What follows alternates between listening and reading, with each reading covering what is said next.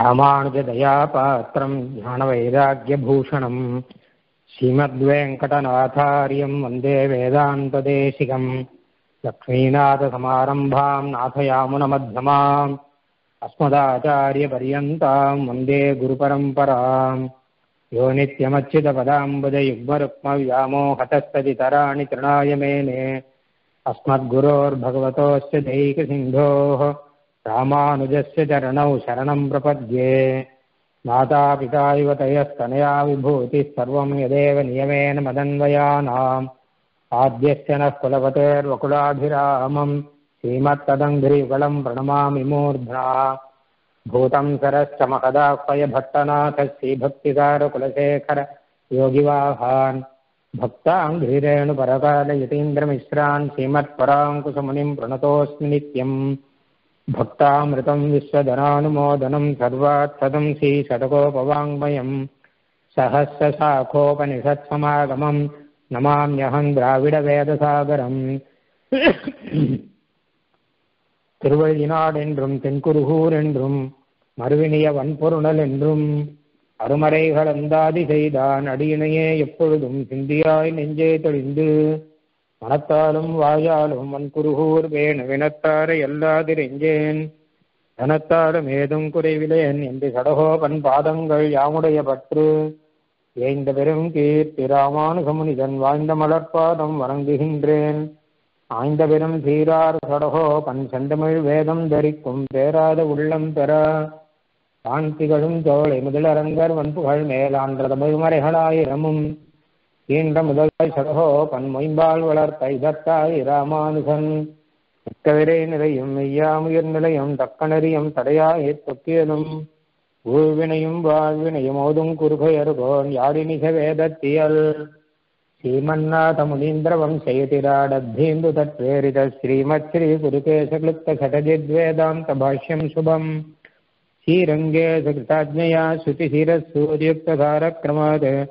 श्रुतिशिरस्सूर्युक्तधारक्रमात् व्याकुर्वन्निगमान्तलक्ष्मणमुनिर्दत्ताम्बतिं निर्मलाम् श्रीमान् वेङ्कटनाथार्य कवितार्किककेसरी वेदान्ताचार्यवर्यो मे सन्निधत्तां सदा हृदि पितामहस्यापि पितामहस्य सुतं वरेण्यं षटकोपसूक्तेः सहस्रषट्सङ्ख्यकभाष्यकारं சட்டாரிநாமானமகம் பிரபத்யே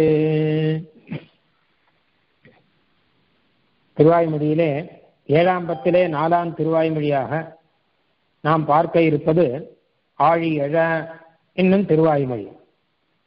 ஏழாம் பத்திலே நம்முடைய பாபங்களை எல்லாம் எம்பெருமான் போக்கடிக்கக்கூடியவன் அனிஷ்ட சோரன் என்பதாக இதனுடைய சாரமாக சொல்லுகிறார். பிரபதன சுலபனாக இருக்கக்கூடிய எம்பெருமான் நம்மளுடைய பாபங்களையும் போக்கடிக்கக்கூடியவனாக அவன் இருந்திருக்கான் என்பதை இப்போது பார்த்து கொண்டிருக்கிறோம். அதுல இதற்கு முன்னாடி நாம் வந்து தென் திருப்பேரையிலே பராங்குஷ நாயகியானவர் அந்த இடத்துக்கு போவதற்காக அவர் பிரயத்னிக்க அவர் தாழ்மார்களும் தோய்மார்களும் நீ இப்படி போவது தகுவதல்ல என்பதாக எடுத்துச் சொல்ல நான் போகாமல் இருப்பது முடியாத காரியம். என் மனது அங்கே போய்விட்டது. முதலான விஷயங்களை சொன்னார் என்பதாக பார்த்தோம். அதற்கும் முன்னாடி கங்குலும் பகலும் என்கிற திருவரங்கம் பெரிய பெருமாள் அவரை பற்றியான ஒரு திருவாய்மொழி அதிலேயும் நாயிகா பாவத்திலே எம்பெருமான் பெரிய பெருமாளோடு அவனை பிரிந்து கலந்து பிரிந்து இருக்கும்போது பிறகு அவனோடு கலந்த விதத்தை சொன்னார். பிறகு பெரிய பெருமாளானவர் வேட்டைக்காக தென்திருப்பேரையிலே எழுந்தருள இவரும் ஆமோதனம் பண்ணி சரி வேட்டைக்கு எழுந்தருளலாம் சொல்ல பின்னால் பெருமானை பிரிந்து அந்த व्यசனத்தினாலே நானும் தென்திருப்பேரைக்கு போவேன் என்பதாக இவர் சொன்ன வார்த்தைகள் எல்லாம் நாம் பார்த்தோம்.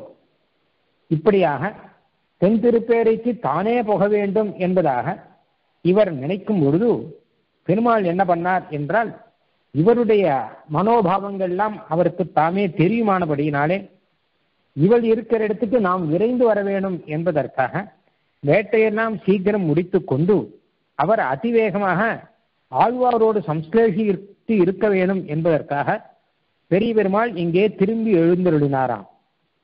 அதை சாக்ஷாத் சுவாமி அழகா சொல்றார். கீழ் திருவாய்மொழியிலே பாக்கிய சம்ஸ்லேஷ அலாபத்தாலே வந்த அவசாதத்தாலே மானச அனுபவமும் கலங்கி தென் திருப்பேரையிலே போக அத்தியவசித்த இவருடைய ஆர்த்தியை கண்டு பெரிய பெருமாள் இவருக்கு தாம் விஜயலட்சுமி பரிவர்த்தனாய்க் கொண்டு எழுந்தருளுகிறபடியை அத்தியந்த விசதமாக மனசாலே அனுபவிக்கும்படி பண்ணியருள. அத்தாலே பிரகிருஷ்டனாய் இப்படி பேசுகிறார். ஏன் இவரை பிரிந்து பெருமா பெரிய பெருமாளை பிரிந்து இவருக்கு எத்தனை மனசிலே ஒரு துக்கம் இருக்கிறதோ அதே அளவு துக்கம் அந்த பெரிய பெருமாளுக்கும் இந்த ஆழ்வாரை பிரிந்து மனசில இருக்கா? அவர் தென் திருப்பெறையிலே போய் இருந்தாலும் அந்த பெரிய பெருமாளுடைய திருவுள்ளம் மனசு மொத்தமாக இங்கே சுவாமி நம்மாழ்வார் பக்கத்திலே அல்லது இங்கே பராங்குச நாயகி பக்கத்திலேயே இருந்துருக்கு அதனாலே இவருடைய ஆர்த்தியை கண்டு பெரிய பெருமாளானவர் தாம் திரும்பி எழுந்தருள வேணும் என்பதாக அதிவேகமாக விஜயலட்சுமி பரிவர்த்தனாக கொண்டு எழுந்தருளுகிறார். விஜயஸ்ரீயோடு கூட ஏன்னா வேட்டைக்கு தானே போயிருக்கார். அந்த வேட்டையில போய் ஜெயித்து விஜயஸ்ரீயோடு கூட பெருமாள் திரும்பி எழுந்தருளுகிறாராம். அதை பார்த்தால் இவருக்கு எப்படி இருக்கும்? பெருமாளையே நினைத்துக் கொண்டிருந்த தென்திருப்பேரைக்கு போகணும் போகணும் என்று நினைத்துக் கொண்டிருந்த சமயத்திலே அவரே விஜயஸ்ரீயோடு கூட முன்னாடி வந்தால் அப்போ எப்படி இருக்கும்? இவர் மனசு எத்தனை சந்தோஷமாக இருக்கும்? அந்த மாதிரி நிரதிசய சந்தோஷத்தோடு கூட நிரதிசய பிரீதியுக்தராய் சம்பிராந்தமானசாராய் கொண்டு ரொம்ப ரொம்ப பிரீத்தியோடு கூட ஒரு பரபரப்புறக்கோடு கூட ஆழ்வார் அருளி செய்கிற பாசுரங்களை இப்போது நாம் பார்க்க போறோம். இதற்கு சரியான ஒரு உதாரணத்தை சொல்ல வேண்டுமானால் எப்படியானால் அன்றைக்கு ஜனஸ்தானத்திலே பதினாலாயிரம் பேர் ராட்சசர்கள் வருகிறார்கள் என்று கேள்விப்பட்ட உடனே பெருமாள் தாம் ஒருவராக கையிலே வில்லை எடுத்துக்கொண்டு கிளம்பி போனார். லக்கோனை பார்த்து சொன்னார் இளைய பெருமாளை பார்த்து நீர் இங்கே சீதா பிராட்டியை ரட்சித்துக் கொண்டு இந்த ஆசிரமத்தில் ஏறும். நாம் போயிட்டு வரேன் என்பதாக இவர் போன பிறகு இவரை பிரிந்து என்ன ஆயிற்றோ ஏதோ ஆயிற்றோ என்பதாக சீதா பிராட்டி மனசிலே கலங்கி இருக்கும் பொழுது பெருபெருமாள் அந்த பதினாலாயிரம் பேரையும் ஒன்னரை முகூர்த்தத்திலே வதம் பண்ணிவிட்டு விஜயலட்சுமியோடு கூட திரும்பி வந்தால் அப்போது சீதா பிராட்டிக்கு எத்தனை சந்தோஷமாக இருந்திருக்கும்? அதை வால்மீகி அற்புதமான ஒரு ஸ்லோகத்திலே சாதிக்கிறார். தம் திருஷ்டுவா சத்ருஹந்தாரம் மகர்ஷீனாம் சுகாவகம் பபூவ ஹிருஷ்டா வைதேகி பர்த்தாரம் பரிஷஸ்வதே என்பதாக மிக ஆச்சரியமான ஒரு ஸ்லோகம். இது எல்லாரும் இந்த ஸ்லோகத்தை கேள்விப்பட்டிருப்போம். எல்லாரும் இந்த ஸ்லோகத்தை சொல்லிக் கொண்டிருப்போம் திருவாராதனத்தில் ஏன்னா அத்தனை விசேஷமான ஒரு ஸ்லோகம். தந்திருஷ்வா சத்ருஹந்தாரம் சத்ருக்களை எல்லாம் ஒழித்து விட்டு அப்படி எம்பெருமான் திரும்பி வரு திரும்பி எழுந்தருளுகிற ஒரு வைபவம் இருக்கு இல்லையா? கம்பீரமாக திரும்பி எழுந்தருளுகிற ஒரு வைபவம். அதை பார்த்து பிராட்டி ரொம்ப ரொம்ப சந்தோஷப்பட்டாராம். ஏன்னா விஜயஸ்ரீயோடு கூட இவர் வந்திருக்கார். பொதுவாக ராமன் ஸ்ரீராமன் என்பதெல்லாம் இல்லாமல் விஜயராகவன் என்னும்படியாக விஜயஸ்ரீயோடு கூட பெருமாள் எழுந்தொருள் இருக்கார் அப்படின்னா அப்ப அதை பார்க்கும்போது எந்த வீரபத்னிக்கு தான் சந்தோஷம் இல்லாம இருக்கும். அது மட்டும் இல்லாமல் மகர்ஷினாம் சுகாவகம். அந்த இனி தண்டகாரண்யத்துல எந்த மகர்ஷிக்கும் எந்த கஷ்டமும் கிடையாது. இந்த மகர்ஷிகள் தானே எம்பெருமானிடம் சரணாகிதி பண்ணினார்கள். நாங்கள்லாம் எங்கள் பாடையெல்லாம் பாருங்கள். மாம்சத்தை அவர்கள்லாம் பிடித்து தின்னுகிறார்கள். எங்க உடம்பை அப்படியே பிடித்து தின்னுகிறார்கள். என்பதாக எல்லாவற்றையும் மகரிஷிகள் காண்பித்து பெருமாள் கிட்ட சரணாகிதி பண்ணியிருக்கிறார்கள். இனிமேல் மகரிஷிகளுக்கு சுகம் தவிர வேற கிடையாது. எந்த தொந்தரவும் கிடையாது. அதையும் நினைத்து பார்த்தாராம் பிராட்டி. மகரிஷிகளுக்கு சௌக்கியம் பண்ணும்படியாக எம்பெருமான் ஒரு விரோதிகளை ஒழித்து விட்டு வந்திருக்கிறார் அப்படின்னா அதுவும் பிராட்டிக்கு ரொம்ப ரொம்ப சந்தோஷமா இருக்கு அதனால பபூவ இந்த அழகான விஷயம் பபூவ என்பதாக நிறுத்திக் கொள்ளணும்னு அழகா சொல்லியிருக்கார் வியாக்கியானத்துல. பெரியவாச்சான் பிள்ளை சாதிச்சிருக்கார்.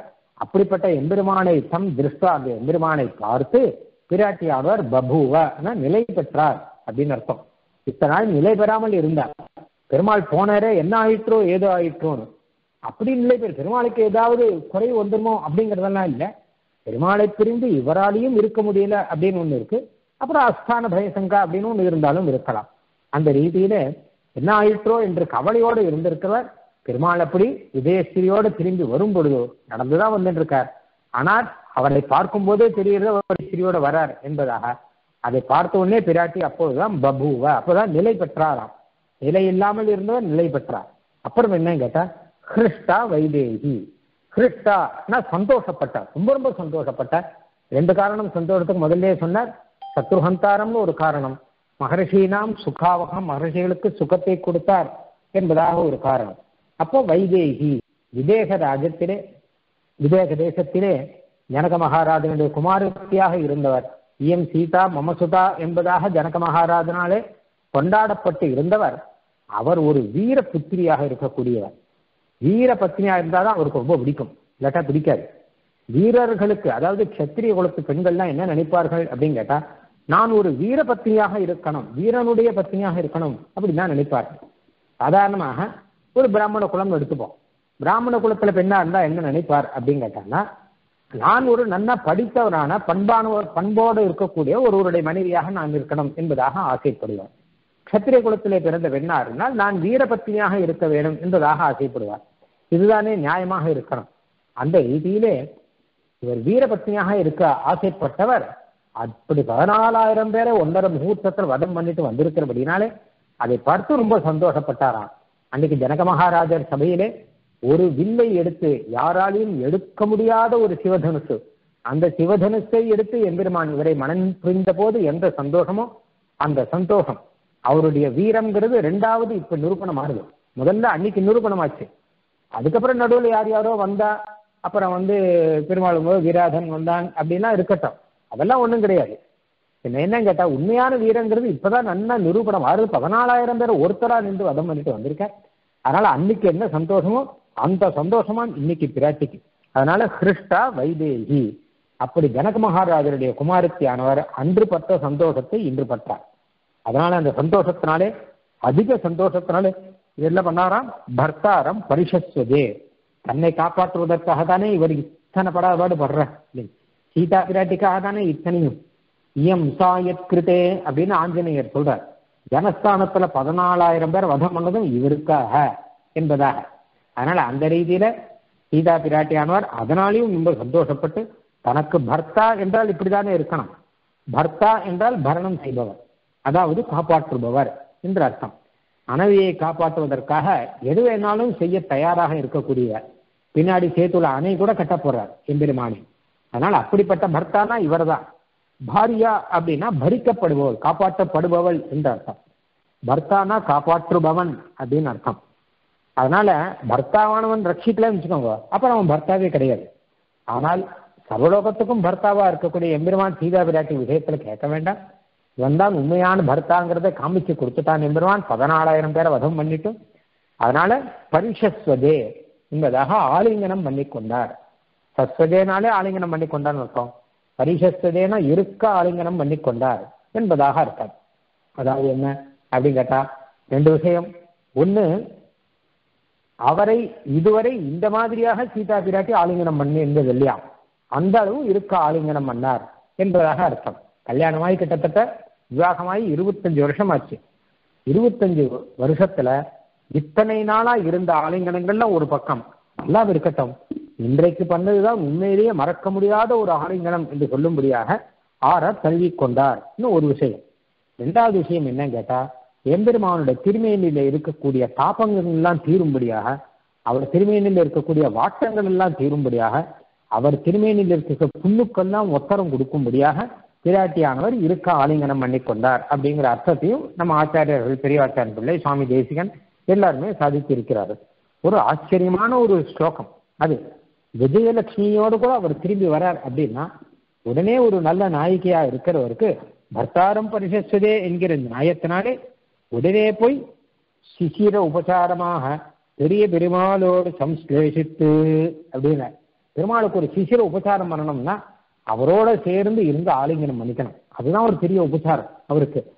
இந்த உடனே சிசிர உபசாரம்னா சைக்கிய உபசாரங்கள் குளிர்ந்த உபசாரங்கள்லாம் நிறைய பண்ணணும். தாப்பத்தில் இருக்கார் இல்லையா?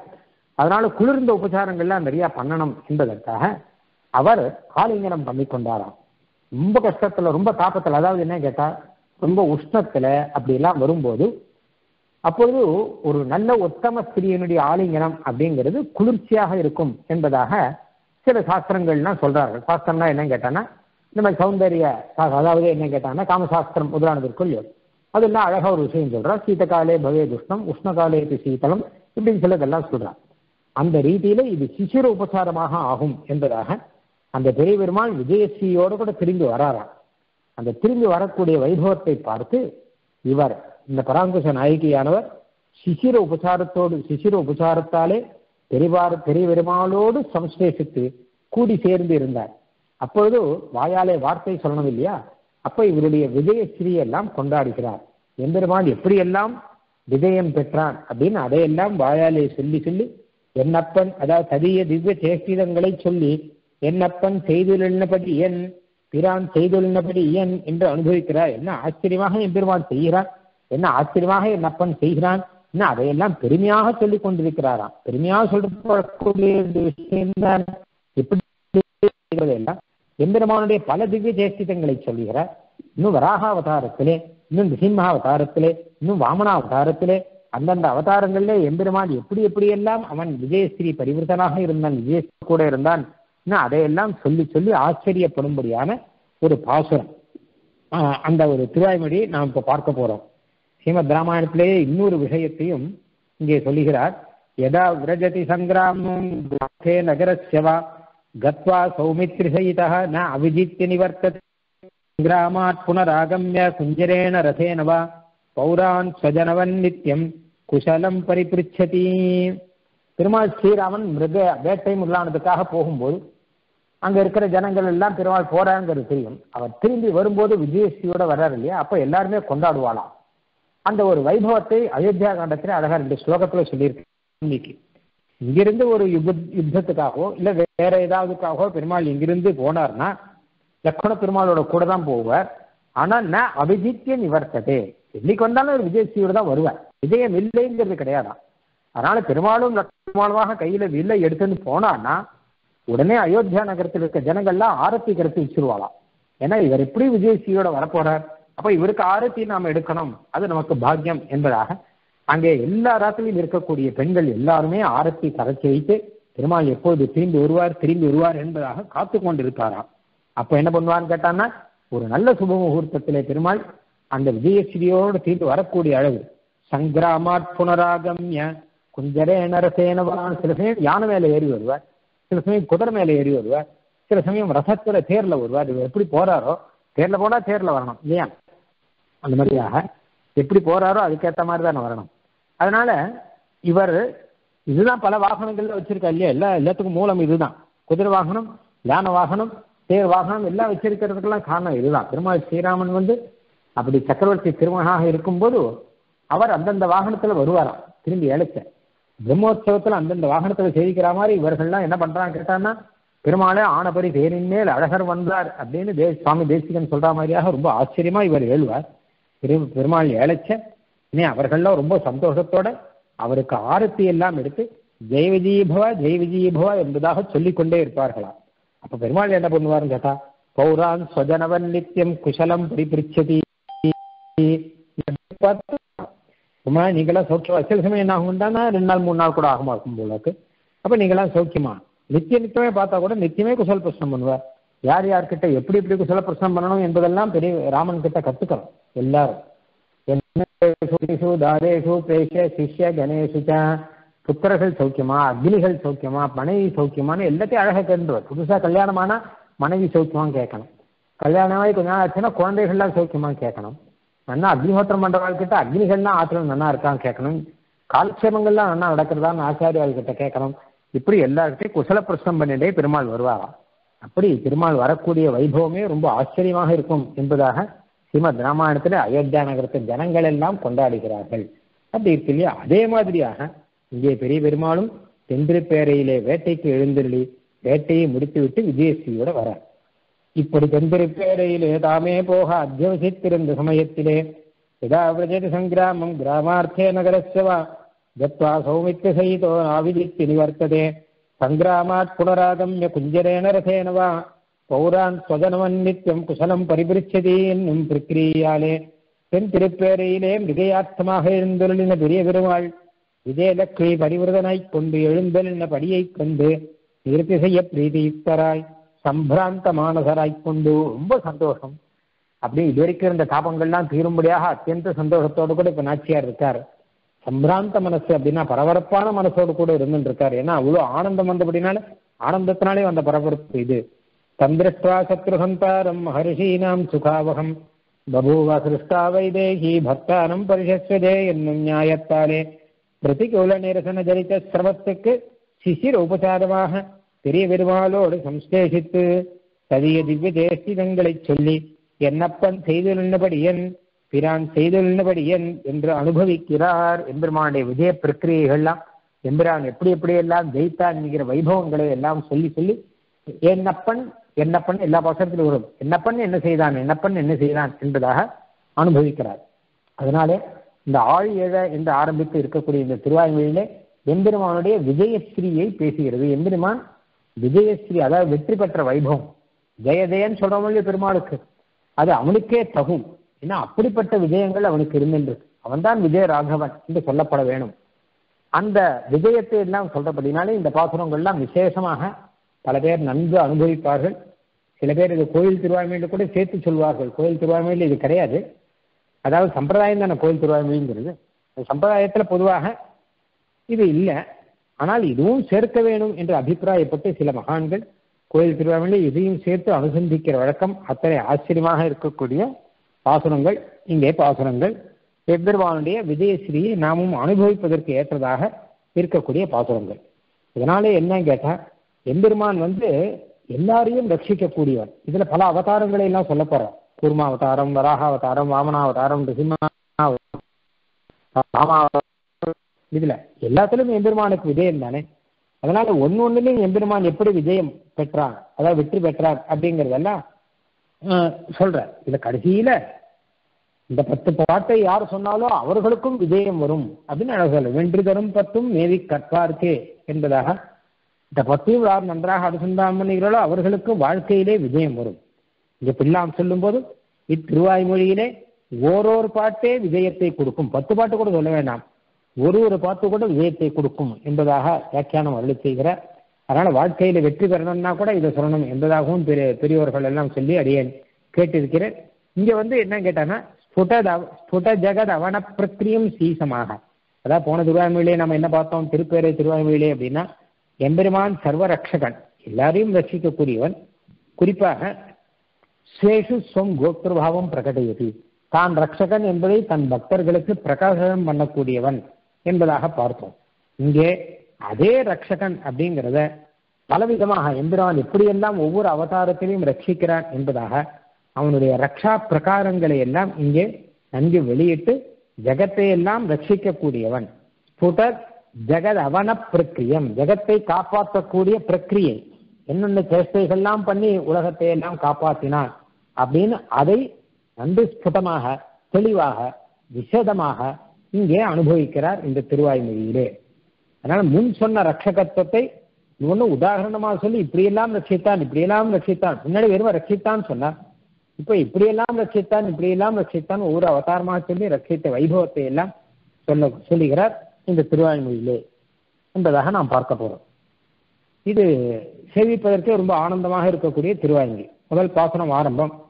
ஆழியழ சங்கும் வில்லுமழ திசை வாழி கண்டும் வாழுமெழ அண்டம் மோடையழ முடிபாதமெழ அப்பன் ஊழியழ உலகம் கொண்டவாரே இப்படி ஒரு ஒரு இதுலையும் எழ எழன்னு வந்திருக்கு இல்லையா? ஆழி எழ சங்கும் வில்லுமெழ எல்லாம் எழுந்து நிற்கன்னு அர்த்தம். அதான் எல்லாம் வளர்ந்து நிற்க. பெருமாள் அன்று வாமன அவதாரத்திலே மகாபலியிடம் மூவடி மண் கேட்டவன் பிறகு திரிவிக்ரம அவதாரம் எடுத்து வளர ஆரம்பித்தார். அதிவேகமாக எம்பெருமான் வளரும் போது எம்பெருமானுடைய திவ்ய ஆயுதங்கள் மொத்தமே எம்பெருமானோடு கூட வளர்ந்தன. அது மட்டும் இல்லாமல் அங்கே இருந்தவர்கள் பல லோகத்திலும் எம்பெருமான் வளர்ந்து வளர்ந்து மேலே போக போக அந்தந்த லோகத்தில் இருப்பவர்கள்லாம் எம்பெருமானுக்கு வாழி வாழி என்று எல்லா பக்கமும் வாழியை சொல்ல அந்த வாழியும் எழுந்து நிற்க எம்பெருமான் உலகம் மொத்தத்தையும் அளந்து கொண்டு சொந்தமாக ஆக்கி கொண்டான் மகாபலிக்கு சொந்தமாக நினைத்த அந்த உலகத்தை தனக்கு சொந்தமாக எம்பெருமான் ஆக்கி கொண்டான் அப்படிங்கிற வைபவம் இருக்கு இல்லையா? அந்த வைபவம் என் அப்பன் உலகம் கொண்ட வைபவம். அதை நான் என்ன சொல்வேன்? எத்தனை ஆச்சரியம் என்பதாக இந்த பாசுரத்திலே சொல்லுகிறார். இங்கே சீசுத்தி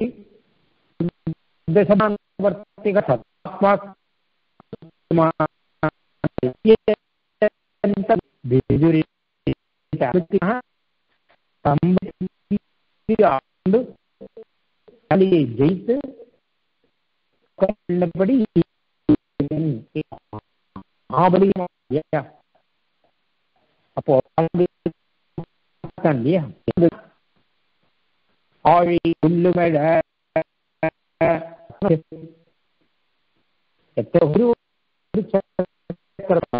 அதாவது தன்னுடைய தன்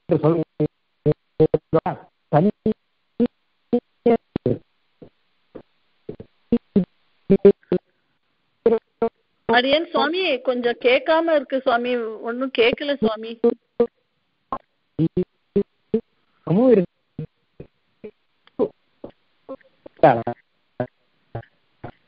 ஏன் சுவாமி. சமிக்கணும் சுவாமி. கொஞ்சம் கேட்கல சுவாமி.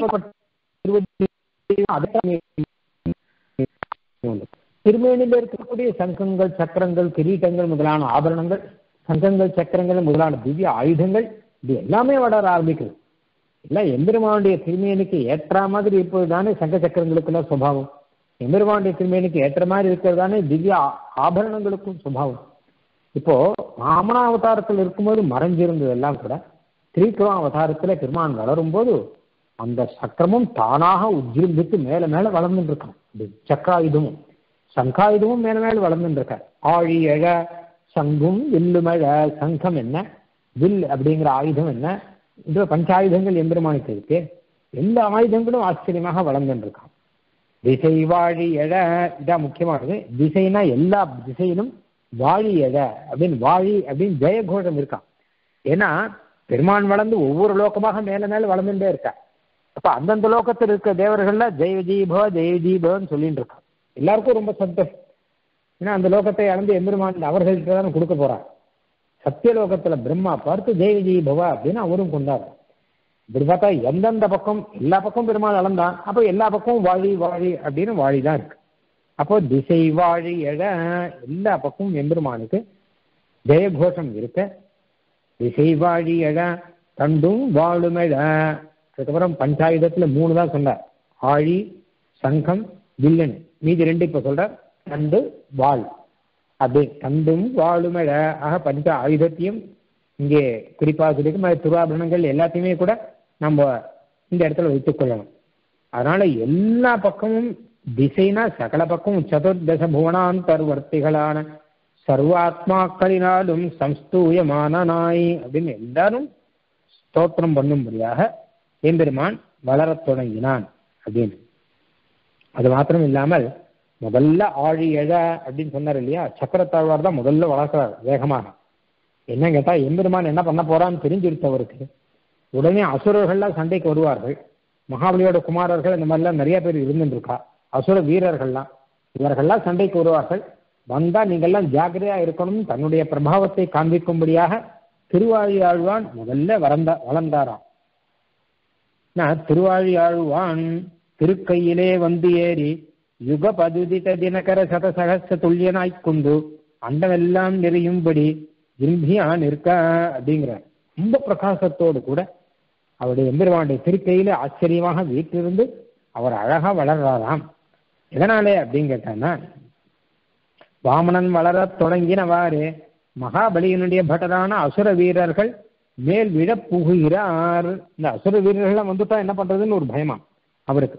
பெருமாளுடைய திவ்ய வைபவம் நடக்கும்போது அசுரர்கள்லாம் வெறும் வந்து யுத்தம் பண்றேன்னு ஆரம்பிப்பானேன்னு அப்ப தன்னுடைய தேஜஸ்னாலேயே கூட அவர்களை எல்லாம் அடக்க முடியும். அப்படி இருப்பவர் இந்த திருவாழியாளர். அவர் சசம்பிரமமாக திருக்கையிலே வந்து ஏறி வாமனாவதாரத்தில் அவர் கொஞ்சம் அடங்கியிருந்த இருந்தார். திருவாழியாழ்வான் இருக்கிறதே தெரியல. ஆனால் பெருமாள் வளர ஆரம்பிச்சோடனே பட்டுன்னு அவர் கையில வந்துட்டாராம். பெருமாள் நினைச்ச போது ஒருவர் பெருமாள் நினைக்காமே ஒருவர் போல இருக்கு இவர். ஏன்னா பெருமாள் தான் வளரணும்னு நினைச்ச உடனே இவர் பட்டு வேகமாக அவருடைய திருக்கையிலே வந்து ஏறிக்கொண்டாராம். யுகபதுதித்த தின தினகர சகச சத சகச துல்லியனாய்க் கொண்டு ஒரே சமயத்துல நூறாயிரம் சூரியன் தான் எப்படி இருக்கும்? அந்த மாதிரியா? அந்தமெல்லாம் நிறையும்படி உஜ்ஜிம்பியானுக்கு சூரியன்கள் இந்த லோகத்துக்கு தான். சூரியனை சுற்றி ஏதோ கொஞ்சம் லோகம் இருக்கு. அதுக்கு பிரகாசத்தை கொடுக்குறான் ஆனால் அந்த திருவாயூர் அன்னைக்கு சதுர்தச புவனங்கள் எல்லாத்துலேயும் பிரகாசத்தை கொடுக்குறான். இது சூரிய மண்டலத்தை சுற்றி சிலது தானே இருக்கு? என்பதாக சொல்கிறார். ஏன்னா எல்லாத்தையும் தானே எந்திரமான் அளந்தான் அன்றைக்கு. அதனால அண்டம் மோழ எழ முடிபாதமிழ அடுத்த விஷயம் என்னன்னு கேட்டான்னா அப்ப சுதர்சனாழ்வான் போனார் இல்லையா? பின்னாடியே பஞ்ச ஆயுதங்கள் எல்லா ஆயுதங்களும் இந்த ஆயுதங்களுக்கெல்லாம் தலைவராக இருக்கக்கூடியவர் சுதர்சனர். அவரே கிளம்பி வந்திருக்காருன்னா அப்ப நாமளும் பின்னாடியே வரலாம் எல்லா பின்னாடி வந்து எம்பெருமானுடைய திருக்கைகளே எல்லா ஆயுதங்களும் வந்து வீற்றிருந்தனர் அவர்களெல்லாம் நித்திய சூரிகள். சுதர்சனாழ்வான் முன்னே கிளம்ப பின்னோடு ஸ்ரீ பாஞ்சதன்யம் சாங்காதிகளும் ஜிம்பியா நிற்க நான் சுதர்சனாய ஹேதிராஜா ஹேதிராஜன்னு சொன்னாமோ? சுதர்சனுக்கு. ஆயுதங்களுக்கெல்லாம் தலைவர் அவர். அதனால அவரை பின்தொடர்ந்து தான் எல்லாமே இருக்கக்கூடியவர். அதனால எல்லா ஆயுதங்களும் வளர ஆரம்பித்து விட்டன அண்டம் மோழை எழ விடிபாதமிழ அப்படின்னார். அண்டம்னா பிரம்மாண்டம். இந்த பிரம்மாண்டத்திலே மோழைனா ஒரு நீர்க்குமிழி போல. அதாவது அழகா விஷயம் சாதிக்கிறார். அந்த பிரம்மாண்டத்துல எம்பெருமானுடைய அந்த திருமேனியும் மேல மேல வளர்ந்து நிற்க அந்த இடத்துல இடம் போராதபடினாலே ஒரு திருமேனி வளர்ச்சிக்கு அந்த அந்தராளம் இடம் போராமையாலே நெருங்கி அந்த பித்தி பிளந்து ஆவரண ஜலம் உள்ளே புகும்படி திருமுடியும் திருவடிகளும் வளரா நிற்க அண்டம் மோழை எதா அண்டத்திலே மோழை வந்து விட்டது என்பதாக அர்த்தம். மோழைனா குமிழிகள்லாம் வந்து விட்டது எப்படியானா ஒரு ஜலத்துல வேகமாக இன்னொரு பெரிய இதாம ஒரு பாத்திரத்துல இருக்குன்னு வச்சுக்கோங்க பெரிய பாத்திரத்துல. அதுல வேக போட்டாங்கன்னா அப்ப ஜலத்துக்கு இடம் தான் போகும். அப்ப என்ன ஆகும் கேட்டா அதுல சின்ன சின்ன குமிழிகள்லாம் வர ஆரம்பிச்சிடும். அந்த மாதிரியாக இங்கே மேல மேல எம்பெருமானுடைய திருமேனி வளர்றது எம்பெருமானுடைய திருப்பாதம் வளர்கிறது இதனாலே அண்டத்துல இடம் போராமல் போயிடுத்தா அதனால அண்ட பித்தி பிளந்து விட்டது. அண்ட பித்தின்னு ஒண்ணு இருக்கு. ஒரு அண்டத்தில் நடுவில் தடுப்பு மாதிரி அதெல்லாம் கிழிச்சுட்டு பெருமாள் மேல போற அப்போ ஆவரண ஜலம் அப்படின்னு ஜலம் இருக்கு. அந்த ஜலத்தையும் தாண்டி உள்ளுக்குள்ள போற அந்த ஜலத்திலிருந்து பிரிகின்றது தான் கங்கா நதி என்பதாக சொல்லுவார்கள். அப்படி எம்பெருமானுடைய திருமுடியும் திருவடிகளும் வளர்ந்து நிற்கின்றன. அண்டம் மோழ எழ அப்படின்னு. சிருஷ்டியந்தம் என்னும்படி விதுரித அந்த பித்திகமாக அப்படின்னு. இது வந்து ஏதோ ஒரு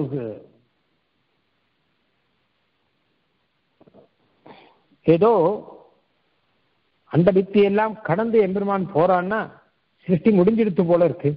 பிரளய காலம் போல இருக்கு என்பதாக நிற்கும்படியாக அத்தனை வேகமா எம்பெருமான் மேலே போயின்னு இருக்கான். அண்டம் மோழ எட முடிபாதமழ அப்படின்னு. அதுக்கப்புறமாக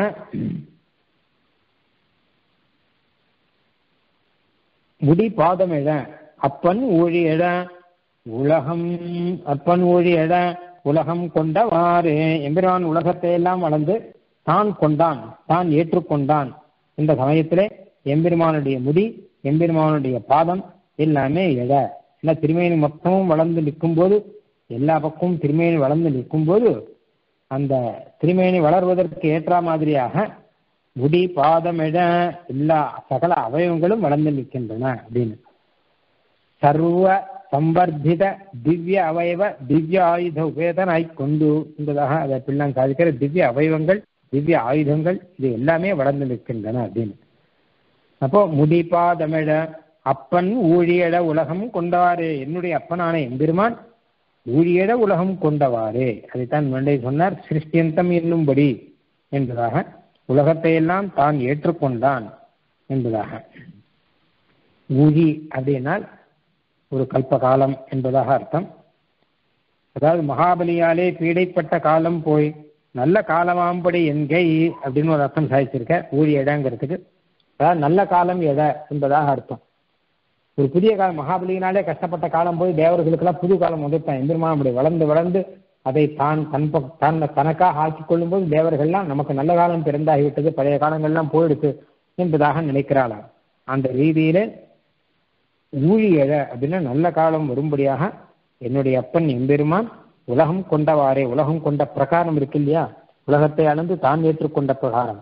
இது என்ன ஆச்சரியம் என்பதாக உலகத்தை அளந்து கொண்ட பிரகாரம் என்ன ஆச்சரியம் என்று கருத்து என்பதாக இவர் இங்கு அனுபவிக்கிறார். ஆழியழ சங்கும் வில்லுமெழ திசை வாழியழ பண்டும் வாழுமெழ அண்டம் மோழையழ முடிபாதமெழ அப்பன் ஊழியட உலகம் கொண்டவாறே. எல்லா பாசத்திலும் கிட்டத்தட்ட அப்பன் வரும். என்னப்பன் என்னப்பன் என்பதாக அர்த்தம். என்னுடைய சுவாமியானவன் இப்படியெல்லாம் வளர்ந்து கொண்டான்னு சொல்லும்போதுதான் நமக்கு அந்த எம்பெருமானுடைய விஜய் வைபவத்தை நாம் கொண்டாட முடியும். அதனால ஆறு மலைக்கு எதிர்ந்தோடு மொழி அளவூறு சுழாய் மலை தேய்க்கும் ஒலி கடல் மாறு சுழன்று அழைக்கின்ற ஒலி அப்பன் சாறுபட அமுதம் கொண்ட நான்றே. அடுத்தது எம்பெருமான் சமுத்திர மதனத்தை செய்யும் பொழுது சமுத்திரத்தை கடையும் போது அப்போது நடந்த ஒரு வைபவத்தை ஆச்சரியமாக இந்த பாசுரத்திலே சொல்ற அப்பொழுது பலவிதமான சப்தங்கள் எல்லாம் உண்டாகி கொண்டே இருந்தன. என்னென்ன சப்தம் அப்படின்னா ஆறு மலைக்கு எதிர்ந்தோடு மொழி. ஆறுகள் எல்லாம் கடலில் கலக்கக்கூடிய ஆறுகள் எல்லாம் அந்த கடல் நடுவிலே மலையை போட்டு கடைந்தபடினாலே அந்த ஆறுகள்ல கடல்ல இப்ப இடம் இல்லாமல் திரும்பி போச்சான் திரும்பி போய் அங்கே மலைகள் இருக்கு. அந்த மலையில போய் இந்த ஆறுகள் எல்லாம் நதிகள் எல்லாம் போய் முட்ட அதனாலே வரக்கூடிய சப்தம் என்பதாக ஒரு பக்கம். அப்புறம் அரவூர் சுலாய் மலை தேய்க்கும் ஒலி. அந்த அரவு சர்ப்பம் இருக்கு இல்லையா? சர்ப்பத்தினுடைய சரீரத்தை பிடித்து மலையை நன்றாக போட்டு கடையிறா இல்லையா? அப்ப சர்ப்பத்தினுடைய சரீரமானது மலை மேலே பட்டு அந்த உராய்தல்னாலே வரக்கூடிய சப்தம் அப்படின்னு அந்த துணி ஒரு பக்கம் இருக்கிறது. கடல் மாறு சுழன்று அழைக்கின்ற ஒலி அது மாத்திரம் இல்லாமல் அதை வைத்து இடப்பக்கமும் வலப்பக்கமாக அப்படி மாத்தி மாத்தி கடையும் போது அதனாலே கடையிலிருந்து வரக்கூடிய ஒரு துவனி என்பதாக அது ஒரு துவனி இருக்கு. கடல் திருப்பி திருப்பி சுழன்று மலை எப்படி சுத்தமோ கடல் எப்படி சுத்துறது அப்புறம் அப்படி சுத்துறது. அப்படியாக இந்த பக்கமும் அந்த பக்கமாக கடல் சுழலும் போது அப்ப வரக்கூடிய துவனி அப்படின்னு இருக்கு. இப்படியாக பலவிதமாக துனி எல்லாம் இருந்துருக்குச்சு அந்த துனியோடு கூட அப்பன் சாறுபட அமுதம் கொண்டனான்றே அப்படின்னு அந்த கடலிலிருந்து பரமசாரமாக இருக்கக்கூடிய அமிர்தத்தை அன்றைக்கு அப்பன் எடுத்தபோது இப்படி பல துணிகள் எல்லாம் கேட்டு நின்றன என்பதாக இந்த பாசுரத்தினுடைய அர்த்தம். இதை பிள்ளான் சீசுக்தி கடைந்து அருளுகிற போது மலைகளில் காட்டில் கடல் உக்குகையாலே ஆறு மலையை நோக்கி ஓடுகிற ஓசையும் பாம்பினுடம்பை சுற்றி மலையை தேய்க்கிற துனியும் பர்வதத்தை வலித்த போது இடமும் வளவுமாக சுழன்று கோஷிக்கிற கோஷமும் என்னப்பன்? நீர் கோதாம்பரை பசைபடக் கடைந்த அமிர்தம் வாங்கின நாள். இவையெல்லாம் உளவாயின என்று சமுத்த மதன பிரக்கிரியை அனுபவிக்கிறார் அப்படின்றது பிள்ளாண்டிய விஷய சீசுக்தியிலே சில விஷயங்கள் இருக்கு. கடைந்து அருளுகிற போது மலைகளில் காட்டில் கடலுக்கையாலே ஆறு மலைக்கு அப்படின்னு அதாவது அந்த சமுத்திரத்து நடுவுல அந்த மலையை போட்டு கடைகிறார்கள். மலைங்கிறது ரொம்ப அவசரமா இருக்கு இல்லையா? ஆனா கடையும் போது சமுத்திரத்துல இருந்து வரக்கூடிய ஒரு அலைகள் இருக்கும் இல்லையோ? அது மலையை காட்டிலும் பெருசா இருக்கான் மலை அளவு அந்த அலை வந்துருச்சு. ஏன்னா அண்ணா போட்டு கடையிறா. மலைமே அவசரம் மலையே அவசரமா இருக்கு. அப்போ அது இருக்கிற அலைகளும் இன்னும் அவசரமா இருக்கு. அப்போ இன்னும் அலை மேல மேல அவசரமா வந்து அது என்ன ஆகும்? கரையில தான் வரும். அது வரும்போது அந்த சமுத்திரத்துல வந்து சேரிக்கிற கங்கா முதலான நதிகள்லாம் வந்து சேரும்போது அப்போ இந்த அலையானது அந்த நதிகளுக்கெல்லாம் போயிட்டு இருக்கும் மேலே சுனாமி வரா மாதிரி உள்ளெல்லாம் போய் மேலே போய் கடைசியில பர்வதத்திலேருந்து தானே நதிகள்லாம் வருது. நதிகள்லாம் பர்வதத்திலேருந்து உண்டாகி தரையில் வந்து சமுத்திரத்துல வந்து கலக்கும். இப்ப என்ன ஆச்சுன்னா சமுத்திரத்துல அலையெல்லாம் ரொம்ப அதிகமாகி அந்த நதிகள்லாம் எதிர்பக்கமாக போய் பர்வதத்தில் போய் மோதறலாம் மோதினா அப்போ அதனாலே வரக்கூடிய சப்தம் ஆறு மலைக்கு எதிர்ந்தோடும் முடி மலைக்கு எதிர்த்து அந்த பக்கத்திலே ஓடக்கூடிய ஒரு சப்தம் இருக்கும் அது ஒரு பக்கம் இருக்கு. அரபூர் சுலாய் மலை தேய்க்கும் ஒளி அப்படின்னு. அப்புறம் பாம்பின் உடம்பை சுற்றி மலையை தேய்க்கின்ற ஒலி அப்படின்னு அதை சொல்ற சர்ப்பத்தினுடைய உடம்பு அப்படின்னு. ஊரு அப்படின்னா உடல் அரவுன்னா சர்ப்பம் அப்படின்னு சுலாய்னா சுற்றின்னு அர்த்தம் சாதிச்சிருக்கேன் மலையை நன்றாக இந்த பக்கமும் அந்த பக்கமும் தேய்ச்சிட்டு இருக்கா இல்லையா? அப்போ வாசுகிங்கிற மகா சர்ப்பம் அப்புறம் மந்திரங்கிற பெரிய மலை இந்த சர்ப்பத்தினோட உடம்புக்கு அது மலைப்பாம்புக்கு மேலே பெரிய மலைப்பாம்பு. அதனால அப்படிப்பட்ட சர்ப்பத்துக்கு இந்த மாதிரி மலையில போட்டால் நல்லா அதுக்கு சௌரியமா இருக்கும் போல அந்த மாதிரி போட்டு இழுக்கிறார்கள் தேவர்களும் அசுரர்களுமாக. மதன சமயத்திலே வாசுகியாக கயிற்றை இழுக்கும் போது மந்தகிரியோடு உரைத்தலாலே உண்டான சர சர என்ற மகாகோஷம் அப்படின்னு அர்த்தம் சாதிச்சது அப்புறம் கடல் மாறு சுழன்று அழைக்கின்ற ஒலி கடலானது இப்படி பக்கம் அந்த பக்கம் சுத்தின்றது. இடது பக்கம் வலது பக்கம் ஏன்னா அப்படி சுத்தமும் கடல் இப்படி சுத்துறது அப்போ நம்ம தயிரை கடையும் போதே சப்தம் பயங்கரமாக வந்துட்டு இருக்கு தயிரை மத்து போட்டு கடையும் போது பார்த்தா தெரியும். அப்பவே சர் சர் சர் சருன்னு சப்தங்கள்லாம் வந்துட்டு இருக்கும் அப்படின்னு இந்த சப்தம் எப்படி வரும். அப்படின்னா கடல்ல ஏற்கனவே துணி அதிகம். சமுத்திரம்னாலே அதில் துணி நிறையா இருக்கும். அதுக்கு மேலே இது மாறி மாறி சுழல்கிறபடினாலே அது அழைக்கின்ற ஒளி அது ஏதோ கூப்பிடுற மாதிரி இருக்கான் நீங்களாம் வாங்கோ வந்து பாருங்கோ அப்படின்னு அதெல்லாம் கூப்பிடுற மாதிரி இருக்கு அப்படின்னு. என்னப்பன் சாறுபட அமிர்தம் அமுதம் கொண்டவாறே. சாருன சாரம் அப்படின்னு அர்த்தம். அதைத்தான் பிள்ளான் பசைப்பட என்னப்பன் நீர் கோதாம்படி பசைபட கடைந்து அமிர்தம் வாங்கின நாள் பசை அப்படிங்கிறது சாரம் அப்படின்னு சாரம் உண்டாகும்படியாக அன்னைக்கு அமிர்த மசனத்திலே இந்த அற்புதங்கள் எல்லாம் நடந்தன. சாறு உண்டாகும்படியாக சமுத்திரத்துல உள்ளுக்குள்ள இருக்கக்கூடிய சாரமான அமிர்தத்தை கடை எப்பவுமே சாரத்தை எடுக்கணும்னா கடைந்து எடுத்தா தானே முடியும். எப்படி ஆனால் வெண்ணெய் இருக்குன்னு வச்சுக்கோங்களேன் வெளியில பார்த்தா தெரியாது. கண்ணா போட்டு கடைந்து கடைசி வரைக்கும் போட்டு கடைஞ்சு எடுத்தாதான் அப்போ அதுல இருந்து வெண்ணெய்ங்கிறது திரண்டு வரும். அந்த மாதிரியாக சமுத்திரத்துல அமிர்தம் இருக்கா? மேல பார்த்தா நிறைய ஜலமா இருக்கு ஒரே பக்கம் பார்த்தா. இன்னும் பார்த்தா என்னென்னமோ கலந்துருக்கு. ஆனா அமிர்தத்தை எடுக்கணும் அப்படிங்கிறதுக்காக சாரத்தை வாங்கின நாள்லே இவை எல்லாம் உண்டாயின இந்த மாதிரி சப்தங்கள் எல்லாம் உண்டாயிற்று அப்படின்னு அந்த நாளை நினைத்து பார்க்கிற அந்த நாளை நினைத்து அன்னைக்கு நடந்த வைபவங்கள் இவை எல்லாம் என்பதாக ரொம்ப ஆச்சரியத்தோட பாடுகிறார். ஆறு மலைக்கு எதிர்ந்தோடி மொழி அறவோறு சுலாய் மலை தேய்க்கும் ஒலி கடல் மாறு சுழன்று அழைக்கின்ற ஒலி அப்பன் சாறுபட அமுதம் கொண்ட நான்றே. நான்றிலையேழ் மண்ணும் தானத்தவே பின்னும் நான்றிலையேழ் மலை தானத்தவே. பின்னும் நான்றிலையேழ் கடல் தானத்தவே அப்பன் ஊன்றி இடந்து எயிற்றில் கொண்டாலே இது வராக அவதாரத்தில் என் அப்பனானவன் எம்பெருமான் ஊன்றி இடந்து அப்படின்னா குத்தி தன்னுடைய கோரையில முன்னாடி வச்சுட்டு இருக்கான் பூமியை எயிற்று அவனுடைய எயிறுன்னு பெயர் அவனுடைய மூக்கிலே அவனுடைய பல் நுழியிலே இருக்கான் அதுல குத்தி அந்த பூமியை எடுத்து வச்சுட்டு இருக்கேன் அந்த நாள்ல என்ன நடந்ததுன்னா நான்கில் ஏழு மண்ணும் தானத்தவே அப்படின்னு. எல்லாம் எல்லாம் தானத்தவேனா அது இடத்துல இருந்தது. சப்த தீபங்கள் இருக்கு இல்லையா? சப்த தீபங்களும் அதனுடைய இடத்துல அப்படி அப்படியே இருந்தன. நான்கில் ஏழு மலை தானத்தவே. சப்த பர்வதங்கள் குல பர்வதங்கள் சொல்லக்கூடிய பெரிய சப்த பர்வதங்கள். அந்த மலைகள் எல்லாம் அதனுடைய இடத்துல அப்படி அப்படியே இந்த ஒன்றும் கலங்கி போகல. பூமி அப்படி எடுத்து வச்சபோது எல்லாம் அப்படி அப்படியே இருந்த இடத்துல இருக்கும்படி அழகா வச்சான். இதுதான் வேதம் வந்து அதிர்கம் கத்து அப்படின்னு அழகா சொல்றது. அதாவது வராகாவதாரம் எடுத்து எம்பெருமான் அன்னைக்கு பூமியை குத்தி எடுத்தின போது அதனால பூமி வராகம் குத்தின குத்துல பூமியை பிளந்திருக்கணும் இல்லையா? ஆனால் அப்படியெல்லாம் பிளக்காதபடி அழகா எடுத்து ஒரு நோவும் இல்லாதபடி தன்னுடைய திரு வீட்டிலே எம்பெருமான் வைத்தானா? அப்போ அந்த சமயத்துல அந்த பர்வதங்கள் என்ன? அந்த கடல்கள் என்ன? எல்லாம் அதது இடத்துல அப்படி அப்படியே நிச்சலமாக இருக்கு அசையாம இருந்துருக்கான் அதுதான் சொல்ற நான்கில ஏழு மண்ணும் தானத்தவே. ஏழு சப்த தீபங்கள். அந்த ஏழும் அதனுடைய இடத்துல இருந்தன. பின்னும் நான்கில ஏழு மலை தானத்தவே. ஏழு பர்வத்தங்களும் அதனுடைய இடத்துல இருந்தன. பின்னும் நான்கில ஏழு கடல் தானத்தவே. அது மாதிரி சப்த மகாசமுத்திரங்கள் இருக்கு அதெல்லாமும் அதனுடைய இடத்துல இருந்தது. எல்லாம் எதுவுமே மாறி போகலையே. அப்படி எந்திருமான் அப்பன் ஊன்றி இடந்து ஏற்றில் நாளே தன்னுடைய ஏற்றிலே எடுத்து வைக்கும்போது அது அதனுடைய ஸ்தானத்திலே இருந்ததே. இது என்ன ஆச்சரியம்? இது என்ன ஆச்சரியம் என்பதாக அதை கொண்டாடுகிறார். அப்படியே எடுத்தது அப்படியே எடுத்தது எடுத்து அப்படியே வைக்கணுங்கிறது பெரிய சுவாரஸ்யம் இல்லையா? அது நம்மளால எதையுமே பண்ண முடியாது. ஒரு லட்டு கூட எடுத்து நம்ம கையில் எடுத்தா உண்டு போயிடுறது. ஆனால் அழகா ஒன்றும் இருந்த இடம் விட்டு மாறாதபடியாக ஆச்சரியமாக எம்பெருமான் எடுத்து வைத்து அந்த பூமியை அப்படியே சமுத்திரத்தில் வச்சுட்டு போயிட்டான். அதான் அந்த சமுத்திரத்தில் இன்னைக்கும் அந்த பூமி அப்படியே மாறாமல் அசையாமல் இருந்தது. எல்லாம் நிச்சலமாக இருக்கு என்பதாக சொல்றார்.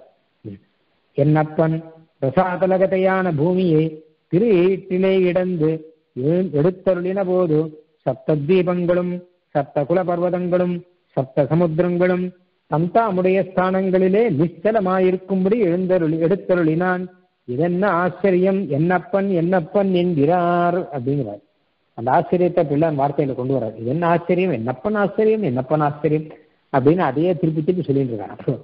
ஏன்னா பூமியை அங்கிருந்து குத்தி எடுத்து மேலே வைக்கும்போது ஏதாவது ஒன்னாவது மாறணும் முடியும் ஒன்றும் அதே மாதிரி தான் கோவர்தனத்தை தூக்கி எடுத்த போதும் சொல்லுவாங்க. கோவர்தன தபஸ் கோவர்தனகிரியை எம்பெருமான் கண்ணன் தன்னுடைய கையினாலே எடுத்த பொழுது அப்போ அங்கே தபஸ் பண்ணிட்டு இருந்த மகரிஷிகள்லாம் தபஸ் தான் பண்ணிட்டு இருந்தா. அவளுக்கெல்லாம் அதனால எந்த கெடுதலும் வரல.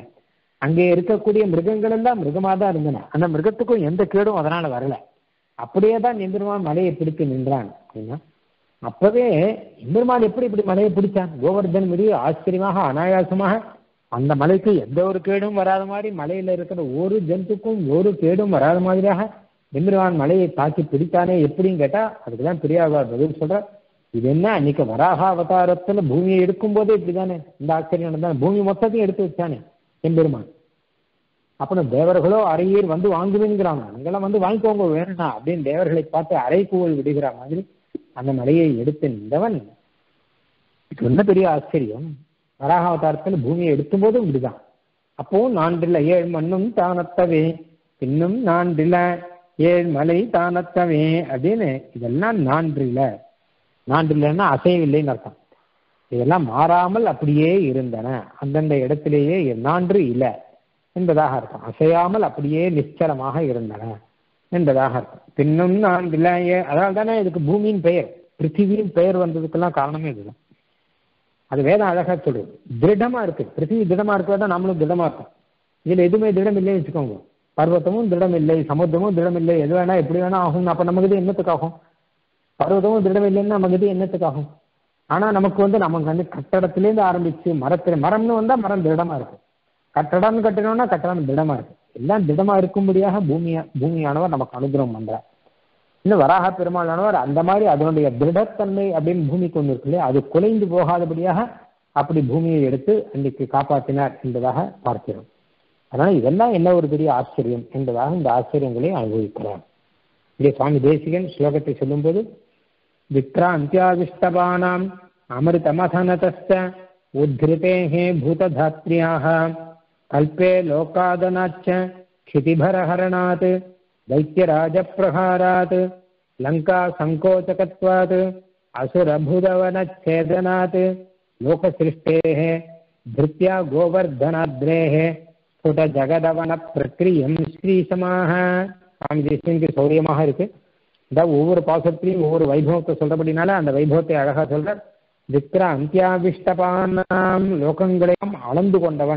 அடி எடுத்து வைத்தவன் அப்படின்னு இருக்கு உலகம் கொண்டவாறு ஆழ்வார் சாதிச்சபடினாலே எல்லா லோகத்தையும் அளந்து கொண்ட வைபவம் ஒண்ணு.